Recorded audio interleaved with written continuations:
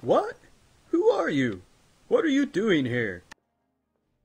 Why, I'm simply a businessman trying to make an honest living. I'm a collector of fine and rare artifacts and antiques, of course.